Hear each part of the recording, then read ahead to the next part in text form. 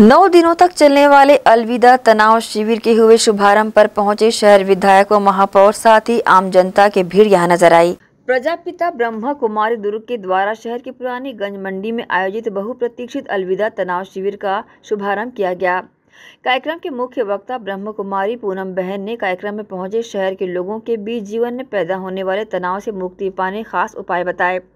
बता दें, ब्रह्मा कुमारी, पूनम बहन ने अलविदा तनाव शिविर के पहले दिन सत्र में बताया कि नौ दिन तक चलने वाले इस शिविर में अलग अलग उत्सवों के माध्यम से आपको तनाव मुक्त रहने के गुण सिखाए जाएँगे, जिससे मन, तन और बीमारी से स्वयं को मुक्त कर सदैव आंतरिक खुशी व प्रसन्नता का अनुभव करेंगे। इसके लिए सबसे पहले हर इंसान में आंतरिक मन व बाह्य मन में होने की बात कही गई।